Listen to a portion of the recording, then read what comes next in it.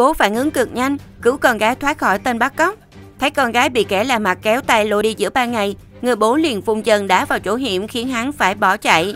Sự việc xảy ra tại khu chợ ở Gia Mộc Tư, Hắc Long Giang, Trung Quốc. Cụ thể, khi đang đi chọn đồ, hai cha con đã bị một người đàn ông mặc đồ đen, trùm mũ kính đầu bám theo phía sau. Sau một hồi theo dõi, hắn ta bất ngờ chạy tới kéo mạnh tay phải của cô bé Hồng lôi đi. Lúc này, ông bố vẫn nắm chặt tay con gái, lôi đứa trẻ về phía mình và nhanh trí đập thẳng vào chỗ hiểm khiến đối phương phải bỏ chạy. Theo những người bán hàng, kẻ lạ mặt này đã xuất hiện quanh khu chợ từ hai ngày trước và đây không phải là vụ bắt cóc đầu tiên của hắn ta. Sau khi clip được đăng tải, người xem đều tỏ ra phẫn nộ trước hành động ngang nhiên của kẻ bắt cóc. Bên cạnh đó, một số ý kiến cũng khen ngợi khả năng xử lý tình huống của người bố.